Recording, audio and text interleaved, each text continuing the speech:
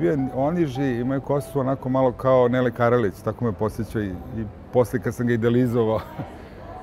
Ove, I onda je on me izvukao i onako pod kišom, stvarno, to je bilo katastrofa, prštalo na sve strane. Ove, on me nekako natovirao na leđe ili kako, nekako me vuku ili sam ja rekao sve u redu. Nekako smo se mi dubuljali 20 metara od tog mesta iza te vratničke kapije.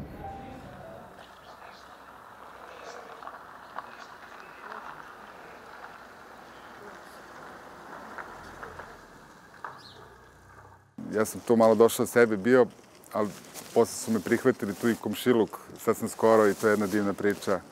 Posle 25 godina saznao ko mi je prvi put pružio pomoć i podvezao nogu koja je vrlo krvarila. I tako saznao sam neki detalje koji su meni bili nevjerovatni, da je ta granata koja udarila, da je ovde čak metal bio, da sam bio ranjen, ovaj, vidljiv vrlo. Ivanovu ratnu priču znali su rijetki, a o njoj su saznali svi nakon što smo je prije pet mjeseci emitovali u Liberty TV. Puno lepih reakcija je bilo zaista i preneti su svi mediji, baš po najviše nakon vašeg.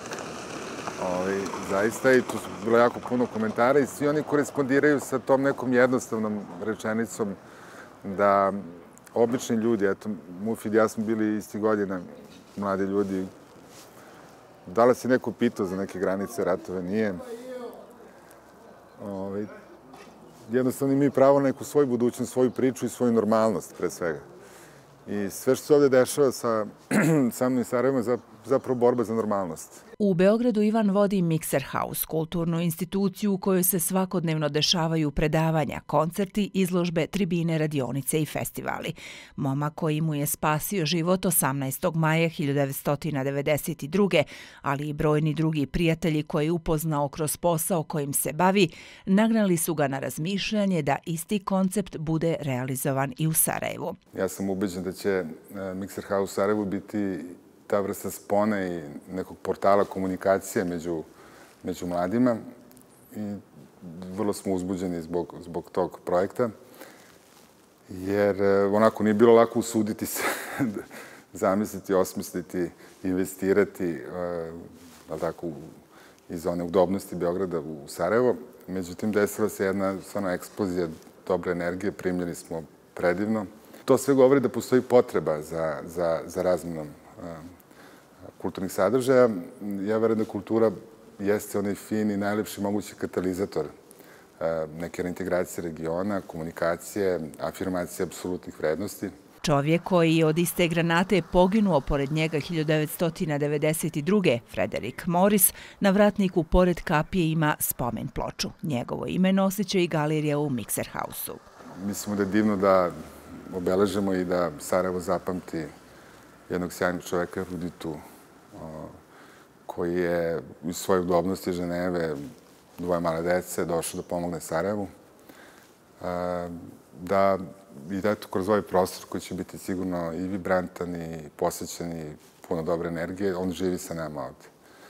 To je neki moj onako lični osjećaj i želja i mislimo da ću ja tako nekako zatvoriti neki divan krug koji traje već 25 godina. E, znači, Sarajevo i Ivan Lalić. E, zaista je Sarajevo doživljan kao rođen sam u Beogradu, ali ponovo rođen u Sarajevo, tako da ima neki puno lepih simbolika.